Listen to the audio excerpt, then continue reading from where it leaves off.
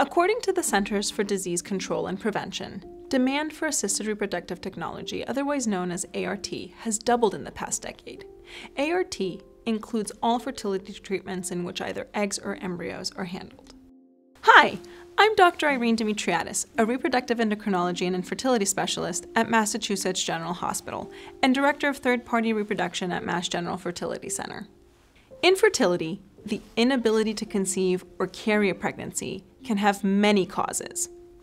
Cryopreservation is a technology that allows a patient to freeze their eggs or embryos. I like to think of it like the ability to freeze time for our fertility.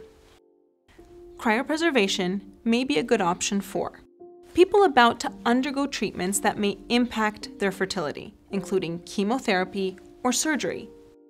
People living with genetic or medical conditions that may lead to a decline in their egg quality or quantity, also known as ovarian reserve.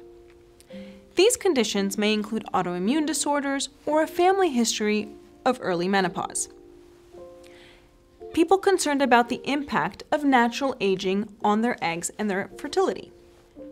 In 1984, the world welcomed the first baby born from a frozen embryo. And in 1986, a woman in Australia was the first person to have a baby with frozen eggs. Earlier methods of cryopreservation involved slowly lowering the temperature over the course of an hour. This was risky, since eggs in particular are mostly water and ice crystals could form, damaging the eggs. We've made so many advancements in egg cryopreservation. In 2012, the American Society of Reproductive Medicine announced that egg cryopreservation was no longer considered an experimental procedure. So, how does cryopreservation work? The journey begins with the patient taking medications that stimulate the ovaries so that we can retrieve as many eggs as possible. The process during which a doctor removes eggs from the patient's ovaries is commonly referred to as an egg retrieval. After we retrieve eggs, you have two options.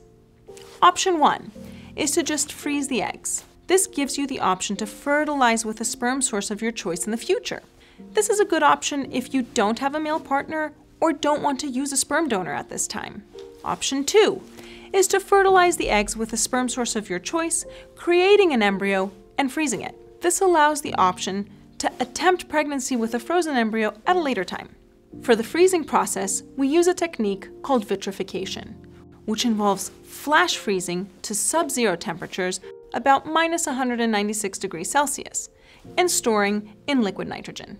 This eliminates the possibility of damage from ice crystals. At Mass General Brigham, we have a highly specialized team of physicians and embryologists involved in cutting edge research to improve outcomes in cryopreservation.